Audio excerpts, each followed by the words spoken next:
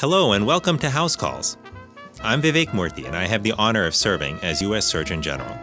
I'd like to introduce you to Dr. Rosaura Orengo Aguayo, a clinical psychologist who specializes in trauma. We believe conversations can be healing, and today we'll be talking about how natural disasters affect our mental health. In this episode, we explore how we can help each other in the face of hurricanes and other climate disasters. When Dr. Rosaura Orengo Aguayo returned to Puerto Rico to see family after Hurricane Maria in 2017, she faced the devastating reality that we are living in a time of increasing natural disasters. For her, it was really personal. She found her father's psychiatry clinic destroyed, roads ruined, and the power gone. The impact was not only on infrastructure, it was psychological too. In Puerto Rico, people were scared and hopeless and the official death toll had climbed to nearly 3,000 people. Dr. Orengo Aguayo is an assistant professor in the Department of Psychiatry and Behavioral Sciences at the Medical University of South Carolina. She's also a specialist in trauma. Witnessing the psychological toll the hurricane took on children and adults, Orengo Aguayo and some colleagues jumped in to help. They trained community members in psychological first aid, which gave storm survivors a way to recover from the fear and hopelessness that had set in. It also gave them a way to be better prepared for next time. Fast forward five years, and we're reeling from the more recent devastation of Hurricanes Fiona and Ian. As news media and public attention starts to move on, we want to take a moment to refocus on the communities directly hit and still living with the catastrophic consequences of these hurricanes. What does living in a world of worsening natural disasters mean for our mental health? How can we better prepare ourselves in this shifting landscape? And most of all, how can we best help each other, especially those directly impacted? And how can we move forward from a place of despair to a place of hope? This conversation gives us an anchor. Lastly, the House Calls team is eager to hear from you. Please take a moment to rate and review the podcast and send us your ideas at housecalls at hhs.gov. Rosaura, thank you so much for joining me for this conversation. I'm so I'm really looking forward to it. Oh, it's my pleasure to be here. I'm very excited. Well, the reason that I wanted to have this conversation was because it feels like in the last couple of years, there have been so many extreme weather events that we have gone through in the United States and many more uh, around the world, whether it's hurricanes or tornadoes that people have had to deal with, whether it's earthquakes, floods, forest fires, you name it. Uh, those experiences have come to our doorsteps. And while we, we see the pictures of the physical toll that this takes uh, on our lives and on our, on our communities, the mental health toll is often quite underappreciated, and it often, often lingers long after the last home is rebuilt and the last camera crew has left. And so I wanted to have this conversation today uh, with you because this is your area of expertise, and you've done uh, such amazing work on looking at the impact of these types of trauma, uh, you know, these types of events rather, on our mental health and well being. So I, I, thought I would just start with what just happened, which is that you just got back from from Puerto Rico, which, as we all sadly know, was recently hit hard by Hurricane Fiona. And so tell us, how are people doing there, and what did you see? Yeah, so my team and I went down there about a week and a half ago. And, you know, this was very difficult because Hurricane Fiona was a category one storm. So we would have expected less damage than Hurricane Maria. But unfortunately, the southwest part of the region was just devastated. So some of my colleagues that work on my projects don't have electricity, don't have running water, and it's been a few weeks.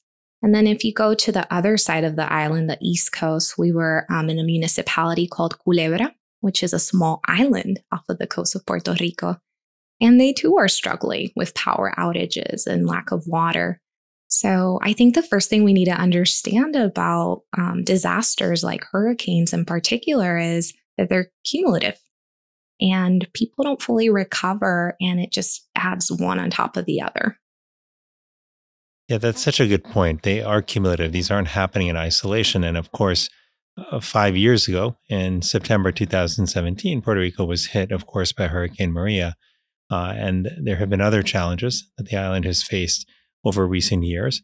Now, now you're an expert in, in trauma, uh, and I'm curious how you define trauma. So, a traumatic event is something that ranges outside of the human normal experience of everyday data life. I kind of explain it to my students as we all get in, um, you know, stuck in car traffic and maybe we're late for a meeting mm-hmm. and our boss is mad. And that's a very stressful event. but That's not traumatic.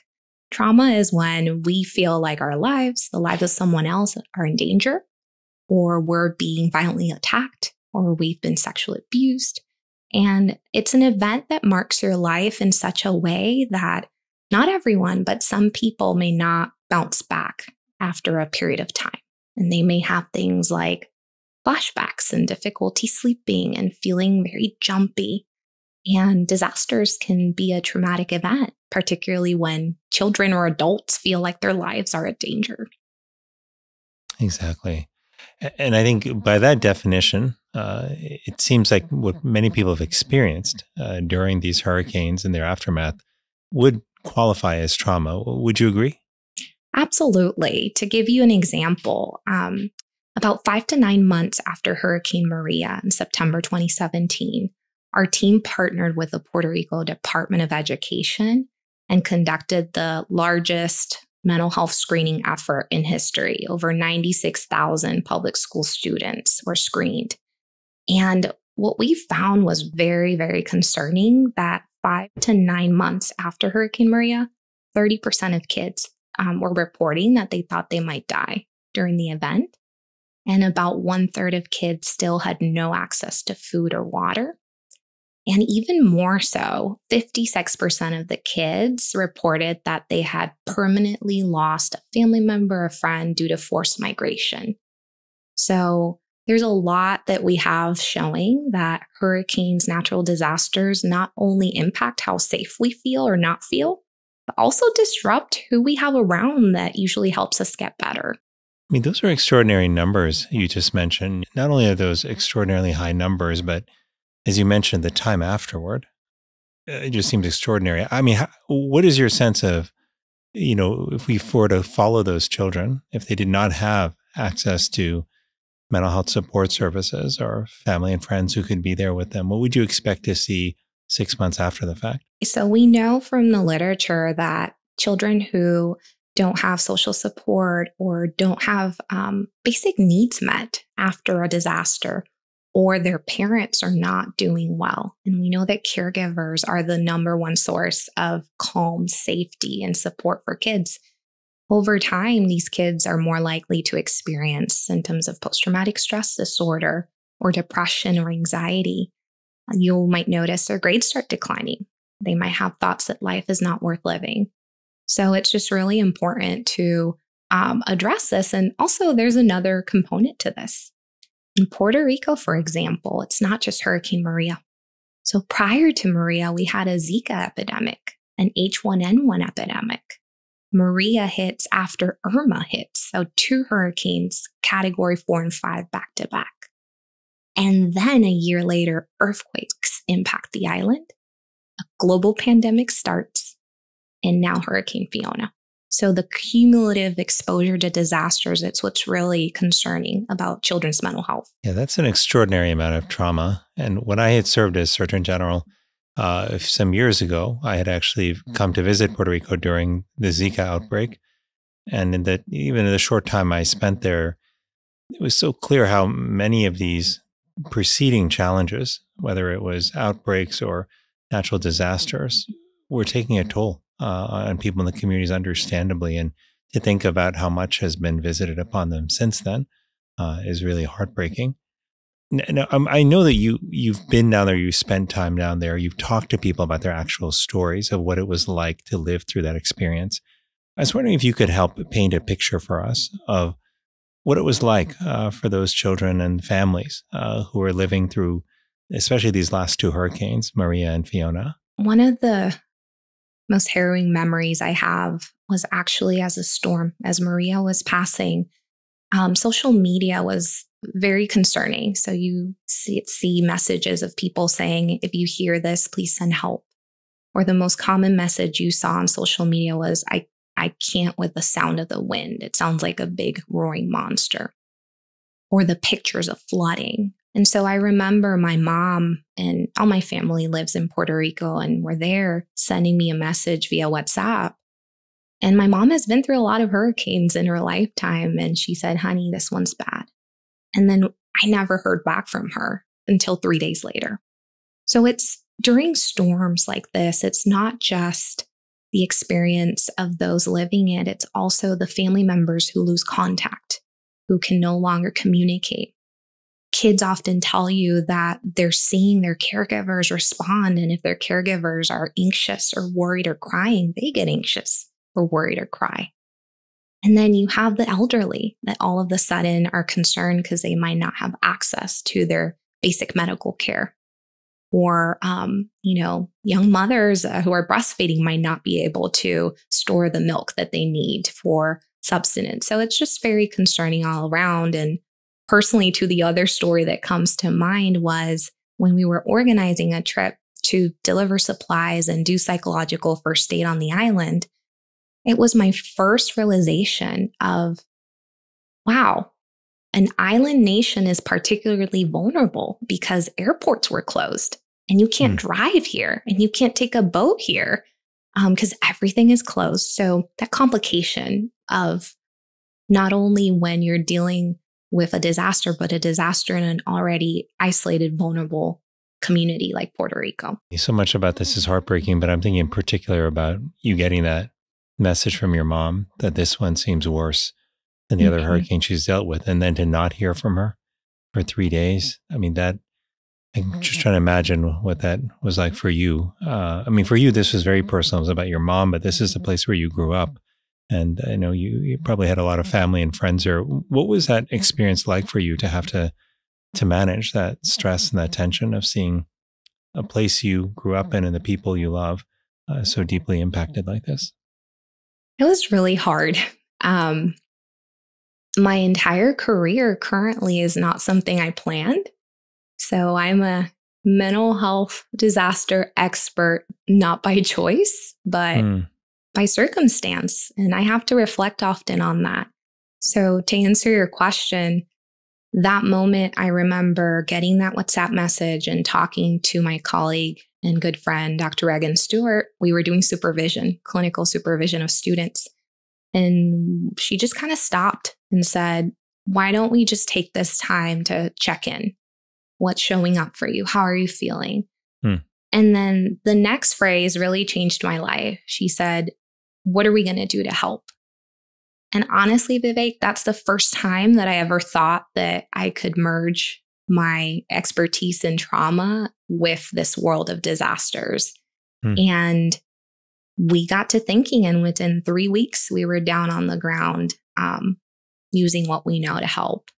I think the other component of this too was um, something dawned on me with Maria that this was not going to be the last one climate mm. change really just became at the forefront of my thoughts and how this impacts children's mental health. And that is really the great worry, uh, I think, for Puerto Rico, but for so many parts of the world with climate change advancing that we may see more of these events. And I think it's worth saying here uh, that we're talking about hurricanes, but clearly the trauma uh, that you're expert in, that you observed in Puerto Rico, can be extended to other natural disasters as well. Uh, but to say a little bit about that, when you look, think about the broader picture that's unfolding with extreme weather events, um, where do you see this going over the next few years? And how do we need to think about the collective trauma that people may be experiencing across our country?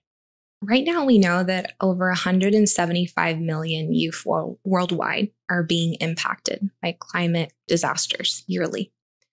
And we know that about a billion children experience traumatic events yearly in the world. If you translate that to the US, one out of two kids below 18 have experienced a potentially traumatic event. And now COVID just really showed us how there could be events that impact us globally that significantly alter our, our day-to-day lives. So we have this problem of climate change not going anywhere. It's only getting worse and you have this prevalence rate of trauma that already exists. So, mm. what happens is that if you imagine a bucket, right? and there's water dripping over the years and dripping and dripping. We're at a point where most kids in the United States are already three fourths of the way up with trauma mm. exposure. And then COVID just really was this massive drop in the bucket that started overflowing. And we see increases in depression, anxiety, loss of hope, suicidality. So if we keep adding more water to that bucket without creating the conditions to empty it, we're going to have a big problem. And those are the kids that will become the adults that become the next leaders. Hmm. So this is a very important issue to address, and we all can play a role in helping it. Yeah, that's so well put and, and very sobering. Uh, I want to get to the the question of what we can do about that trauma. But before then, I was wondering if you can walk us through the stages of experiencing a natural disaster. Um, this is of interest to me not only because I think it's relevant to our audience, but you know, I myself lived through Hurricane Andrew in Miami, mm. Florida, in 1992, uh, and I remember just how just incredibly impressionable, traumatic, painful that experience was. It's many years afterward, I still remember like it was yesterday, like sitting huddled up with my family in the house that we boarded up. We weren't able to evacuate. And just hearing it one or two in the morning, just the the howling of the wind, it was so loud and the whole house was shaking. And I was watching people's houses, parts of their carport, uh, and their porches just fly by, you know, like through the small cracks, you know, in the window through which we could view what was happening in the outside world. But we we didn't recognize the world when we when we emerged from that house. Everything was different. Trees were uprooted, traffic lights were gone. It was just a different world. But but take us through the stages of experiencing a natural disaster. It starts before the disaster even happens, right? So listening to the news, and if you put yourself in kids' shoes, they're viewing the world through their parents' eyes, their brothers and sisters' eyes. So it's that anxiety about seeing mom and dad board up the house. And that's if you get warning, right? In the cases of tornadoes and earthquakes, it's very limited. And um, when when you get through the actual experience of the event, the, the number one thing people report is what they're seeing with their eyes and what they're hearing. So any um, the flooding, the rain, the the sounds, right? And then afterwards, when you go out and you see what once was your playground destroyed, what once was your school is no longer there, or maybe a building where you were going to have graduation the next day is gone. Um, it's it's your entire worldview transforms in an instant and it takes a while for your brain to catch up with that because that's a traumatic event, right? Mm-hmm. We don't expect it. So the next days, it's a combination of survival, right? Where am I going to ne- get food, water, shelter, safety? But it's also this sense of disruption in routines. Am I going to be able to return to school, to my job? Is there a job? Um, and here's where it gets interesting most communities get a lot of attention the first few days from the media, from, you know, everyone trying to help. But where it gets really, really hard is when the press leaves, when the helicopters leave, and the communities stay trying to recover and rebuild for months and years. So, in the case of Puerto Rico, for example, it took, if you were lucky, you got electricity in a month. If you were hmm. the average citizen, your power return in four to six months. And the rest of the island, it took 13 months. So oh when you think goodness. about that, how do we get internet? How do we get phone connection, communications? Um, the average Puerto Rican child um, has not received regular schooling in the last five years because it's been so hmm. many disasters. And I think one last thing I'll say about what is this like, particularly for kiddos, schools are the place where most kids get their meals. Most kids get to play. Most kids get identified when there's something wrong at home. So there's a common thread across disasters. Schools close. And so that sense of support and safety and calm is removed. And then for adults in general, it's a sense of desperation. Most adults can't sleep. Generators are horrible you hmm. hear their hums, the smell of gasoline. So it's just this ripple effect. Everyone's buckets just become really, really full. And the question is, how do we help? And I want to focus on psychological first aid because this is a tool, a skill set that you brought uh, to Puerto Rico and began applying it after Hurricane Maria. Tell us a little bit about psychological first aid. How does it work? Well, first, I'll start with a personal story. Mm-hmm. Um, I remember when, back to my story about Maria, my mom's last text message, one of our team members said, "Hey, we need to we need to contact someone who knows about disaster mental health." And so we contacted Dr. Melissa Brymer. She's the director of disaster and terrorism terrorism programming at the UCLA Duke National Child Traumatic Stress Network program. She is the expert on PFA. And believe it or not, this amazing woman that I was terrified to speak to because I she sounded really sp- like, oh my God. Her first question to me was, Rosaura, how's your family doing? And how hmm. are you doing? And I just started crying. I remember I was like, caught off guard, but I felt so seen and heard. No one had asked me that question. And that is the first step of psychological first aid. So psychological first aid really comes from literature showing us that there's five basic key early intervention principles that we need to focus on when a disaster has happened. Number one, safety. We need to make sure that people are safe, not only physically, but emotionally. Number two, calm. We need calming presence through someone that can be there and say, Hey, I've got you.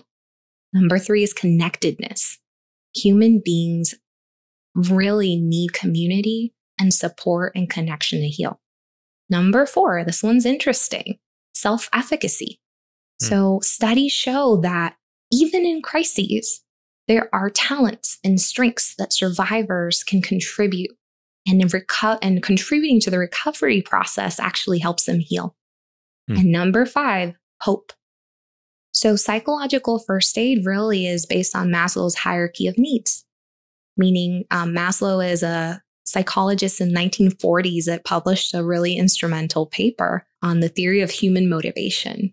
And really what it shows us is that if you don't cover basic needs first, food, shelter, water, you ain't going to get someone to think about their future very much. So you need to do that. And then you need to make them feel safe.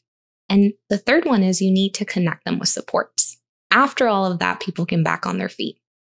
So psychological first aid takes all of this through eight core actions. And basically you show up, you gather information on needs, you connect people to needs, you offer them assistance, you teach them how to manage reactions in that moment, brief coping skills, and you link them with future services should they notice that they need it.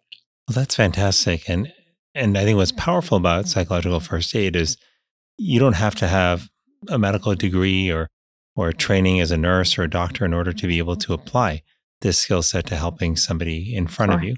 Uh, and I'm curious, what is the youngest that you've actually taught uh, someone psychological first aid? And, and, are there any other limitations on who is able to use these skills to help others? Thank you so much for um, mentioning that. Anyone can do it.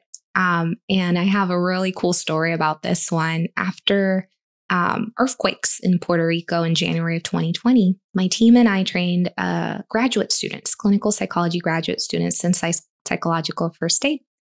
And I don't know, Vivek, if you know much about earthquakes, but those you don't get much warning. Mm-hmm. And the tricky thing about them is when they happen, they don't end. You get aftershocks. So for Puerto Rico, this was new and people were really scared about being inside buildings. They wanted to be outside. So the shelters were in baseball fields with kind of like tents. And so people felt comfortable. So when we show up, the there was like about a 14 year old teenager in the entrance and she was checking our ideas and making sure we were legit. And I asked her, Hey, what's your name? What are you doing here? And she's like, Oh, I'm living here. This is hmm. where my family is. I'm like, oh, you're checking people in. That's amazing. She's like, yep, greeting is my talent. Huh. and it was so cool because someone had identified that and she was using self efficacy. She was connecting with people. So even a 14 year old can engage in psychological first aid. And um, I personally have in the last three weeks after Hurricane Fiona, our team, the Mental Health Awareness Training Grant from Albizu University in Puerto Rico, we've trained over 3,400 people in how to use this in their communities. That is incredible. I think, especially because of what you shared earlier about the core components of psychological first aid. That one of the things it's, it sounds like what you're saying that people really need is to develop a sense of self efficacy as part of their broader healing process. And giving them these skills for psychological first aid likely gives them the ability to go out and help others, which I can only imagine how powerful that is uh, for contributing to your sense of self efficacy. We all may not be able to solve every problem in our life, but we can help other people, and that can remind us of just how powerful we are. So I think that's incredible that you did that. Um, I want to ask you: Was there any resistance that you found to teaching people psychological first aid, and what was the hardest part about it? Yeah. So once you've been around the block for several disasters, you can contrast, right? So right after Maria, um, at least in Puerto Rico, there wasn't really a lot of psychological first aid knowledge or awareness. The word trauma wasn't really used. So there was resistance in the sense of how is this going to help? And what our team did was really embrace humility in that moment because when you think about it, that makes sense. You have to pitch it in a way that meets their needs. And what people needed was food, water, and shelter. So the way we went about it was hey, can we just set up spaces in communities and schools where you and your teachers and your team can come, get water, get coffee, get food, and we can talk. And over time, as more disasters happen and more awareness is created, Fiona was different everyone was requesting psychological first aid because this mm. is what we need. So, my dream is that we really take into consideration that all citizens can benefit from this, and the time to get trained is not when a disaster happens, it's now. It's part of our preparedness plan.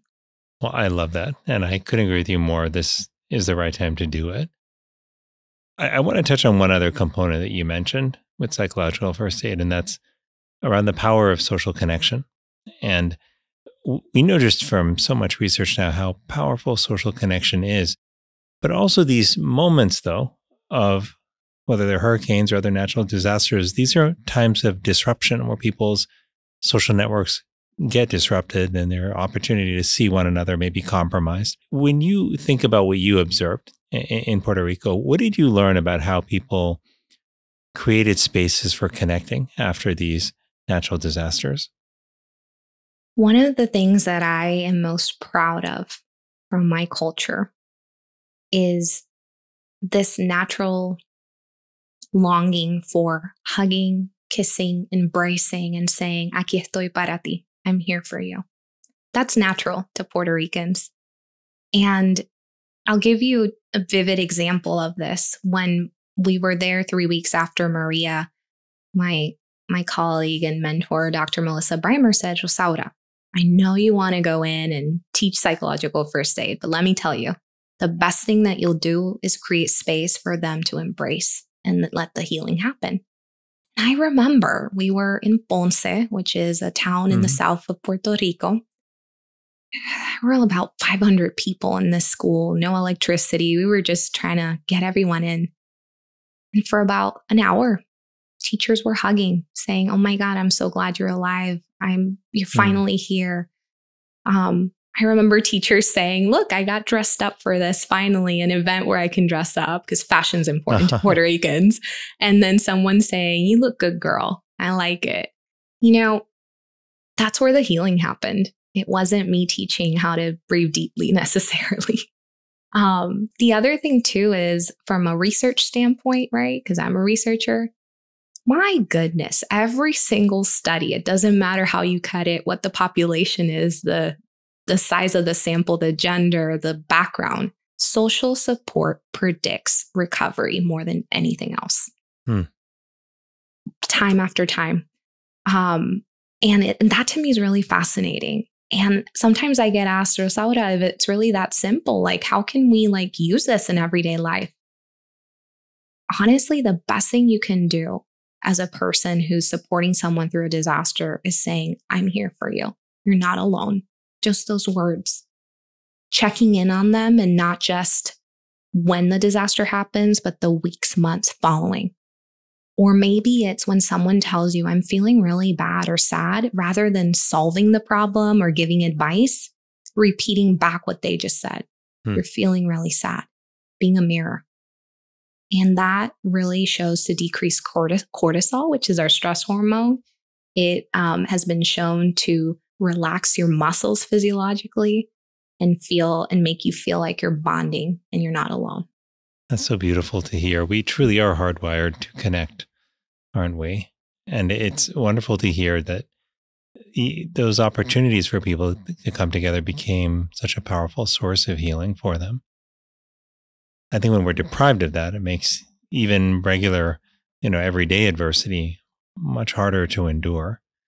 And I'm I'm curious when, when you think about the um, the social connection that people had in their life prior to uh, those two hurricanes, how how would you how would you describe the strength of social connection in the communities that you were uh, a part of? Because as you mentioned, the, the, ideal time to build these resources up is prior to uh, mm-hmm. a, a major event like a hurricane. So, what was it like prior to the hurricane?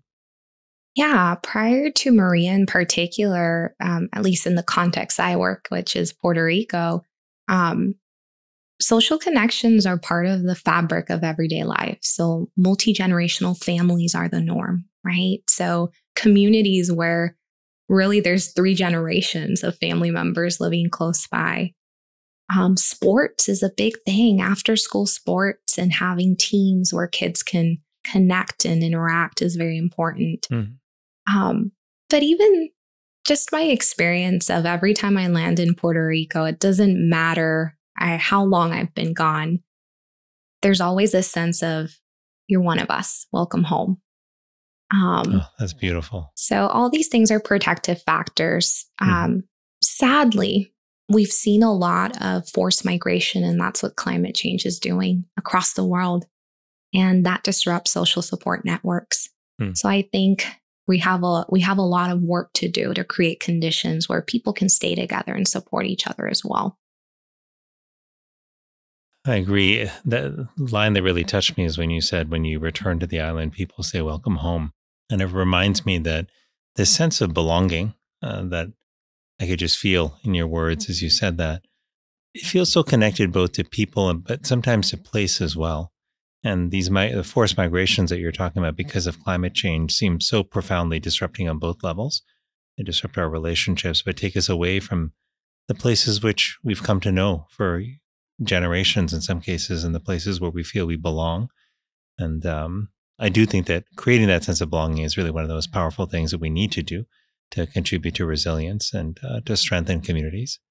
I do want to ask you though about how people can help who are not there. You know, many people when these hurricanes hit, both in the United States and around the world, looked on with horror at what was happening, and they wanted to uh, mm-hmm. to do something to be helpful. What advice do you have for how folks who are not there can provide meaningful support? I think the thing that comes most often to people's mind is where can I donate, right? And that's a very noble and needed um, help.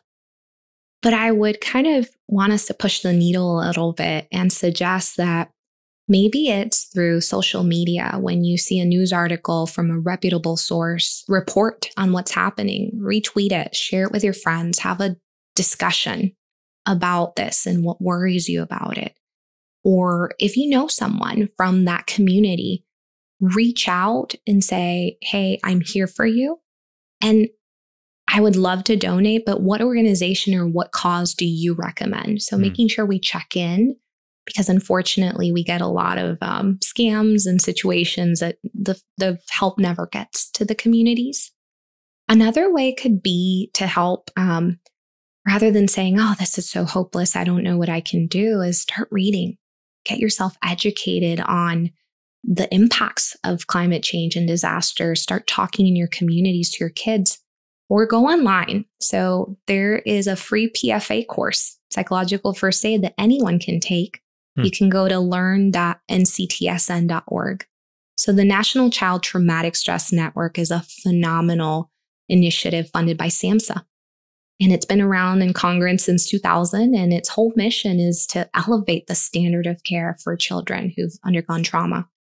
And their website has free resources in every language you can imagine. So something you can do today is take a PFA training through learn.nctsn.org. Well, that, that's great advice. And uh, I love the fact that that is so freely available uh, to anyone. Uh, and along those lines, you know, given that many other communities may potentially be at risk for extreme weather events, especially with the threat of climate change progressing, uh, what steps do you think communities across the country should be taking uh, to to ensure that they're prepared, to ensure that if they do end up suffering one of these events, that they're able to to come back and to recover uh, while minimizing the mental health effect of these traumatic events. There's many things that we can do. Um, I would start, you know, in your own family. What is mm. your plan for evacuation or having supplies? What is your plan to have support in place, right? Having conversations with children and teenagers is super important, and you can get resources through nctsn.org on how to talk to your kids about disasters and what we might need to do.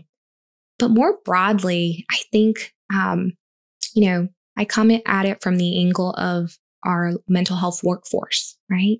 So I didn't have a single class on disaster mental health. I didn't know this was a thing. That's a hmm. problem. I have a PhD. And um, I think we need to do a lot more work in our programming for how to train that workforce up in things like psychological first aid or skills for psychological recovery or trauma in general. Um, and then also, I think we need to start teaching our kids to preserve nature and our environment. Our planet is reeling. And I think we have a generation of kids who actually wants to do something different. My sister, Natalia, is amazing. Um, I'm 12 years older than her. And she's been talking to me about this and she was in sixth grade. And I honestly didn't really understand why she was so concerned. And now I get it. See, our younger generation is wiser. And we need to start bringing them to the table to come up with solutions, not us telling them what to do. Well, I, I couldn't agree more that the passion that rising generations have in addressing climate change is, is really remarkable. You know, at a time where I think sometimes we think that people have become cynical about everything, there is actually a level of optimism and hope paired with urgency uh, and clarity that that they see approach these challenges with around climate change. And I think it's incredibly, you know, encouraging. Uh, but it's really what we need and what we've lacked in, in many ways in in prior generations, certainly in my generation. Uh, so I, I, agree with you. I think that that like, certainly gives me hope. Um, and from everything you're saying, what, what, one of the things I'm taking away is that yes, there are profound impacts of these events on the mental health uh, of all of us, but in particular of our children, and that the effects aren't just, uh, you know, to in the immediate setting in terms of leading to a sense of helplessness or perhaps uh, contributing to depression or anxiety, but that they can last for months and they can impact a child's participation, like uh, at school, uh, and the quality of their education. It can impact how they show up in the rest of their life. And so these are things we have to pay attention to and invest early to build resilience and make sure people have the tools they need from mental health care to psychological uh, first aid. But also, uh, we've got to be attentive to those needs when they arise after the fact uh, as well. I, I, I'm taking from this a hopeful message, though, that as difficult as the repercussions are, that help is is available and it's feasible. The goal is we've got to make it available to everyone uh, who needs it. And so I so appreciate you as somebody who has tried to bring that help uh, remarkably effectively to uh, to Puerto Rico, having trained thousands of people uh, in psychological first aid. Uh, just what an incredible service! I can only imagine how proud your family is of everything that you have done for the community with which you grew up. Thank you. I think I'm here because of a great mom that hmm. gave me support and access to security and self efficacy and hope. Hmm. And now I get to do that for Puerto Rico. So it's really nice to see that play out, right? Hmm. Um, And I think too, if, if it's okay, I wanted to mention one thing that you mentioned that's important.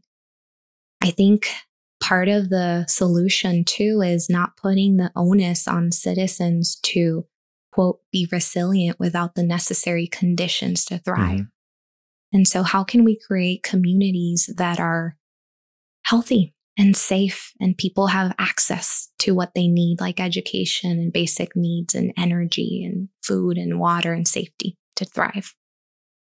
That's absolutely right. Yeah, resilience isn't something that people learn from taking a course online. It's uh, exactly. baked into the, the environment and the opportunities and the safeguards that we have around us, and and everyone deserves those safeguards. And too many people are living without them right now, especially our children, and that that is a tragedy that we have to correct.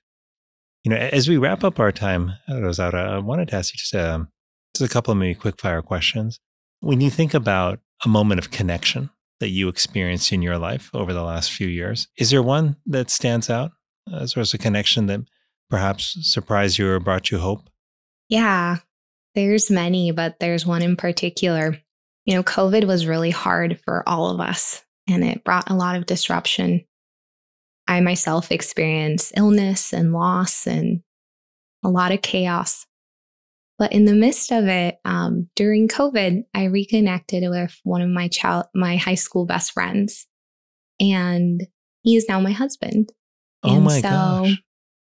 I'm huh. just really grateful for him, and he really helped me realize that I don't know. I guess all this all this time I've thought of myself as not enough, not worthy, and he hmm. really brought out that hope that you can change the world, you can do this.